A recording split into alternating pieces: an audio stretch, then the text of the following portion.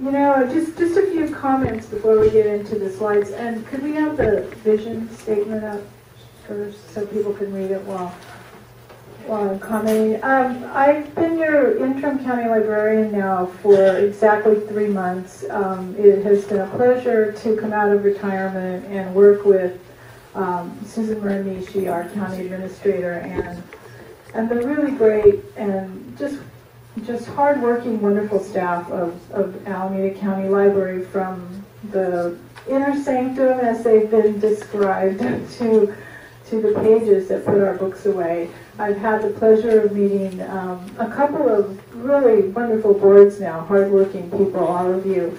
And I had um, today I got to talk to Alan for a while as we drafted the agenda and looked at issues for the upcoming uh, library commission meeting. But I just wanted to say from my heart that libraries are the most, to me, the most important public space in America.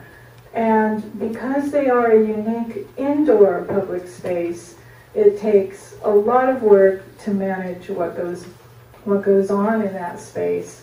Um, and, and to many of the speakers' comments about safe haven and a place to relax, a place to be quiet, a place to be by yourself.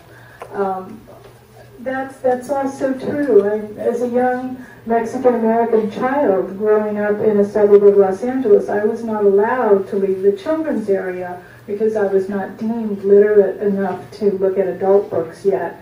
Um, so we've all had those experiences, but we go back to the library because it gives us independence. It gives us a place to be lonely, a place to be free, and a place to, you know, look at all that great stuff that there is to read. When I came to Oakland um, 13 years ago, I was the library director um, at Oakland from 2000 to 2012. Um, I got to work with all manner of community, and we had happy, wonderful problems. And those problems involved closing libraries where hundreds of people showed up at city council to protest that very notion that a city council would dare to close a library.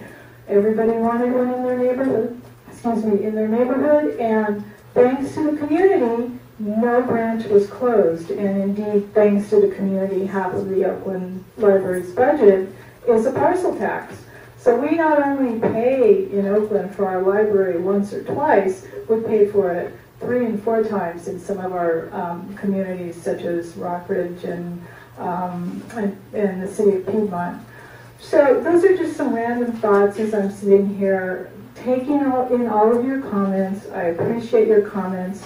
I did want to state for um, the record that um, I have not been on the job for five months, so I did not receive a call um, from anyone except the call today that, that, that, was discussed. I also want to dispel the notion that 20,000 books were discarded from this library because we don't know where that number came from. Because there's no list. We, we through our library records and our library uh, information system, uh, know that the volume count here in Albany was 97,166 volumes, and that we now have 86,001, and so that's approximately um, what um, 11,000 volumes, more or less, give or take.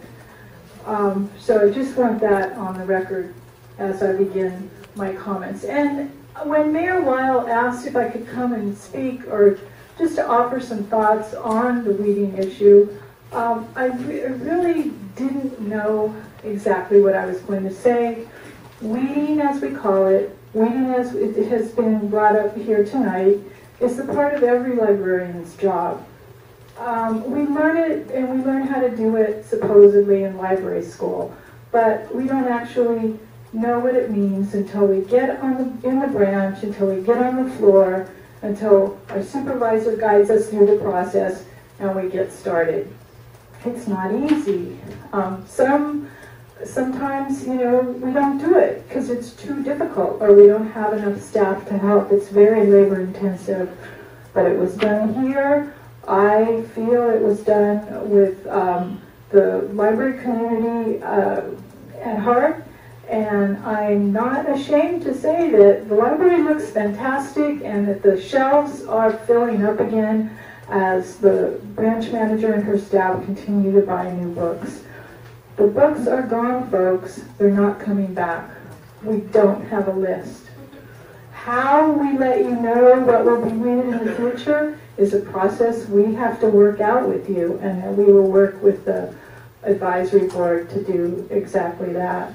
But please, let's indeed, as one of the speakers said, let's um, let's make it a conversation. Let's make it a, a, an agreement. Let's keep it respectful. And with that, um, we can go to the first slide. And my comments are very short tonight so that we can continue with the agenda and give everyone else that's here to speak on the issue time to do just that. So, um, when we look at public libraries, what do they do? You know, we have uh, our, our mission, our goal is to is to provide content. Content through many vehicles. One of them, of course, is books, and to help the the average public person, the child, the senior, connect with that content to find what they need. And if we don't have it, it's our job to make sure that the person gets gets what they need, either from a neighboring library, through an interlibrary loan process, whatever. It's our job to connect content to the actual person.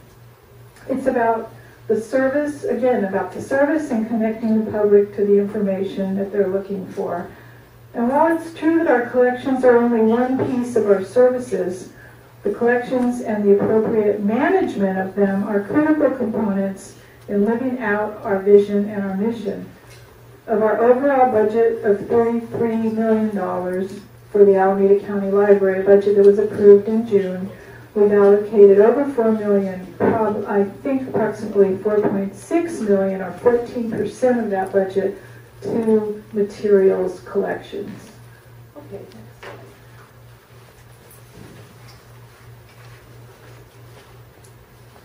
So collection development is, is at the heart of what we do. It's at the heart of every job description.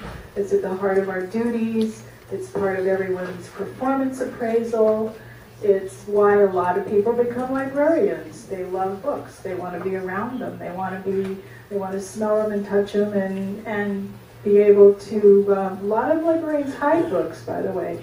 That, um, but really, our job is to make sure that um, that they are indeed off the shelf and and borrowed.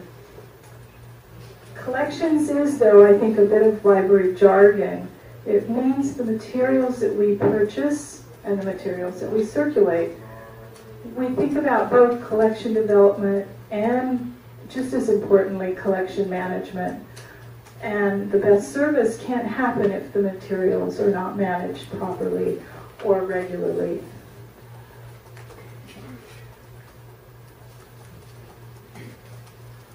We also um, started something called floating collections. These are collections that, uh, indeed, as the name indicates, float, uh, term indicates, float around the county. They're shelved at the location where they are returned. Um, they are encyclopedias. They are no good for many reasons, and so we also don't keep um, out, outdated material. And I think that at that point I'm going to stop so we can talk. What are we talking about next? Um, the questions? That's it, yeah, that's. We have specific. Oh, yes.